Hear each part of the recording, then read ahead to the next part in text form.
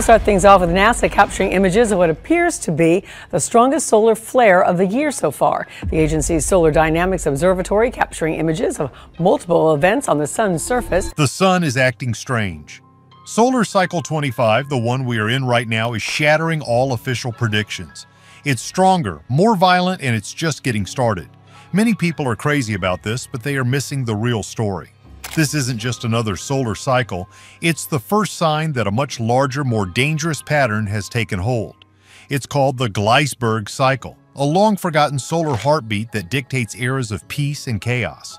A scientist named Joan Feynman warned us this was coming, and now her life's work is revealing a truth that scientists are finally being forced to admit. A storm is brewing. Something is wrong with the sun. For years, the official forecast from the world's top solar scientists was for a calm and quiet star. They predicted that solar cycle 25, the cycle we are in right now, would be weak, just like the one before it. It was supposed to be another sleepy chapter in the sun's life, giving our hypersensitive technological world a much-needed break. But the sun isn't listening. It has awakened, and it's showing a fury that has left experts scrambling for answers. The number of sunspots, the dark blemishes that signal intense magnetic activity has already skyrocketed past the official predictions. Giant X-class solar flares, the most powerful explosions in the solar system, are erupting with alarming frequency. The sun is far more active than it should be, and the truth is, this isn't a surprise to everyone. It is the fulfillment of a forgotten prophecy. You see, many people are focused on the familiar 11-year solar cycle, the regular rhythm of the sun going from quiet to active and back again. But what many overlooked is that this is just a small cog in a much larger, more mysterious machine. Lurking beneath this well-known pattern is a colossal, century-long cycle of solar behavior known as the Gleissberg cycle. Think of it as a supercycle, a grand heartbeat of the sun that takes roughly 88 years to complete one full beat. This cycle dictates the overall intensity of the smaller 11-year cycles. For several decades, the Gleissberg cycle can create a string of powerful, violent solar cycles, a period known as a grand solar maximum. Then, just as slowly, it can dial everything down, leading to a series of weak, anemic cycles in a period called a grand solar minimum. To put it mildly, we have just come out of a grand solar minimum. The past two solar cycles were some of the weakest in a century. This period of quiet lulled us into a dangerous complacency, while we were busy building our global village, wrapping the planet in a delicate web of satellites, power grids, and communication networks, the sun was sleeping. But now it's waking up. The explosive start to solar cycle 25 is the first definitive sign that the great 88-year clock has struck a new hour. We have crossed a threshold from an era of solar peace into a new era of solar violence. This isn't just a theory anymore. This is what the data is screaming and one brilliant scientist saw it all coming. Her name was Joan Feynman, and before she passed away, she unlocked the secrets of the Gleissberg cycle, revealing a terrifying pattern in the sun's history that we are now destined to repeat. But Feynman didn't just find a cycle, she uncovered a terrifying pattern. Cracking the solar code. Joan Feynman was one of the most brilliant minds in astrophysics, though she lived much of her life in the shadow of her famous brother, the Nobel Prize-winning physicist Richard Feynman. But her work was just as revolutionary. While others looked at the sun through telescopes, Joan learned to look back in time. She was a scientific detective, hunting for clues about the sun's ancient behavior hidden in the most unlikely places. She knew that to understand the future, you first had to unlock the past, and our official records of sunspots only went back a few hundred years. That wasn't nearly enough to see the grand patterns she was looking for. So, she went deeper. Her genius was in realizing that the Earth itself is a giant history book of solar activity. The thing nobody tells you is that when the sun is very active, it bombards our planet with cosmic rays. This cosmic radiation interacts with our atmosphere in a very specific way, creating rare isotopes, which are like unique chemical fingerprints. Two of the most important are carbon-14 and beryllium-10. These isotopes rain down from the atmosphere and get trapped. Carbon-14 gets absorbed by living things, like trees. So by analyzing the carbon-14 levels in the annual growth rings of ancient trees, some thousands of years old, Feynman could create a year-by-year record of solar activity stretching back into the mists of time. It's a wow factor to realize a simple tree ring holds the secret history of our star. But she didn't stop there. She hunted down another clue. Beryllium-10, which gets trapped in layers of ice in places like Greenland and Antarctica. By drilling deep ice cores and analyzing the beryllium-10 in each annual layer of ice, she found another independent record of the sun's fury. Then she turned to human history. Feynman pored over ancient astronomical records from places like Korea, China, and Scandinavia, looking for documented sightings of the aurora borealis, the northern lights. She knew that brilliant, widespread auroras that could be seen far to the south were a direct sign of a powerful solar storm hitting the Earth. By compiling all of these different sources, tree rings, ice cores, and ancient texts, she pieced together a timeline of solar activity that was thousands of years long. And in that timeline, a stunning pattern emerged, clear as day, the 88-year Gleissberg cycle. Her timeline was a revelation. It showed that for centuries, the sun had swung between long periods of intense, violent activity and eerie quiet. She could see the infamous Maunder Minimum, a 70-year period in the 17th century when sunspots practically vanished, which coincided with the coldest part of the Little Ice Age in Europe. Her work proved that these grand cycles were real and they had a profound effect on Earth. She had cracked the solar code. Her timeline revealed that the sun's quiet periods always end the same way. Earth's electrical apocalypse. When the Gleissberg cycle turns and a new grand solar maximum begins, the sun transforms. The familiar, relatively tame 11-year cycles become supercharged. The number of sunspots explodes, creating vast, complex magnetic regions on the sun's surface, some many times larger than the entire planet Earth.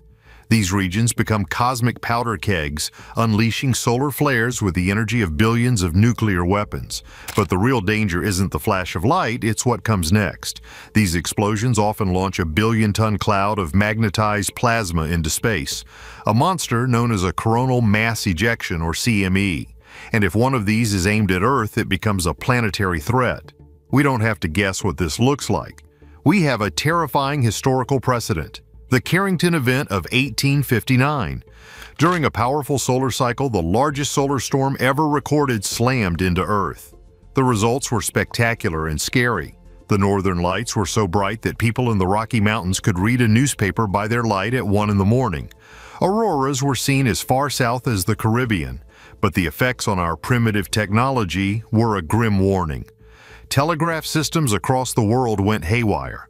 Operators reported sparks flying from their equipment, giving them electric shocks.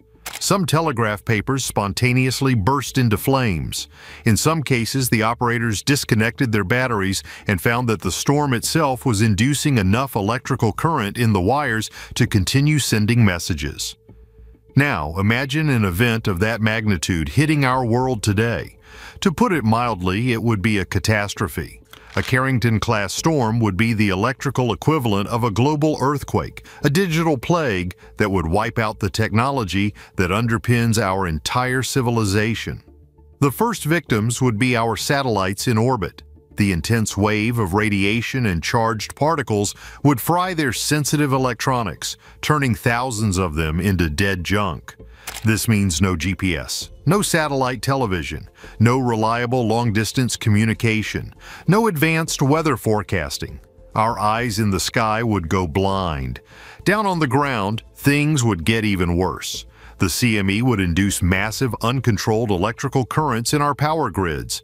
These currents would surge through the long transmission lines, overloading giant transformers, the critical heart of the grid. These transformers, some the size of a house, would overheat and melt.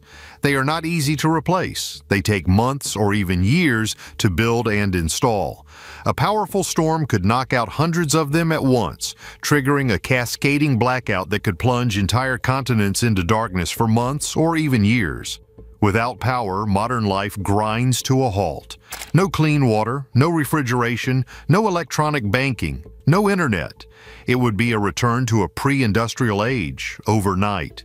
The estimated cost to the United States alone could be over $2 trillion in the first year. Now, scientists are seeing the signs that Feynman's dire prediction is coming true. the Great Solar Maximum. The evidence that we have entered a new, more dangerous solar era is no longer theoretical. It is written in the fire of the sun itself. As Joan Feynman's work predicted, the transition from a grand minimum to a grand maximum isn't subtle. It's announced by a dramatic surge in solar activity, and that is exactly what we are witnessing. Solar Cycle 25 was officially predicted to be a weak cycle, with a peak of around 115 sunspots. As of late 2025, the sun has already smashed that prediction, with sunspot numbers regularly soaring above 160 and showing no signs of slowing down. This isn't just about numbers, it's about power. We are seeing more X-class flares, the heavyweights of solar explosions. One recent flare was so powerful it caused a deep radio blackout over the entire continent of Australia. We're also seeing an increase in halo CMEs, the ones that appear as an expanding ring around the sun, a telltale sign that a massive cloud of plasma is heading directly for Earth. Solar physicists are now in widespread agreement. The initial forecast was wrong, the sun is awake, and the Gleissberg cycle has turned. This is the point of no return. We have crossed the invisible line where the sun's deep magnetic engine has shifted gears. The quiet decades are over and the noisy decades have begun. What many overlooked is that this transition period is one of the most dangerous times. Think of it like a groggy bear waking from a long hibernation. Its behavior is erratic and unpredictable. This is why modern solar observatories, like NASA's Solar Dynamics Observatory and the Parker Solar Probe, which is flying closer to the Sun than any spacecraft in history, are so critical. They are our early warning system, giving us unprecedented views of the Sun's turmoil. These missions are, in a way, the children of Joan Feynman's legacy. Her historical research told us that a storm was coming, and these modern tools are now showing us how it is forming in real time. They see the vast magnetic filaments, some stretching over half a million miles, writhing on the sun's surface before they snap and hurl plasma into space. The scientific community is now racing to update its models, incorporating the long-term patterns that Feynman championed. Researchers are building on her work trying to refine the 88-year forecast. Is this new grand maximum going to be as strong as the one in the mid-20th century, which produced some of the strongest solar cycles on record? Or could it be even stronger? The initial data from Solar Cycle 25 suggests we need to be prepared for a period of activity at least as strong as the space age has ever seen. The silent admission from the scientific community is clear in their revised forecasts. The giant is awake, and the era of superstorms has returned. So, where does this leave us living under this newly awakened star? The hard truth is that Joan Feynman's work gives us both a warning and a gift. The warning is clear. The sun is a variable and at times violent star, and its cycles of fury are a natural and unavoidable part of living in this solar system. The 88-year Gleissberg cycle means that within a human lifetime, the threat level from our own star can change dramatically. The gift she gave us is knowledge. We are the first generation in human history to understand these grand patterns and to see one beginning in real time. Unlike the people in 1859, we can see the storm coming. The question is, what will we do about it? Is our complete reliance on technology a strength? Or have we inadvertently built the perfect trap for ourselves set to be sprung by our own star? Like and subscribe for more answers.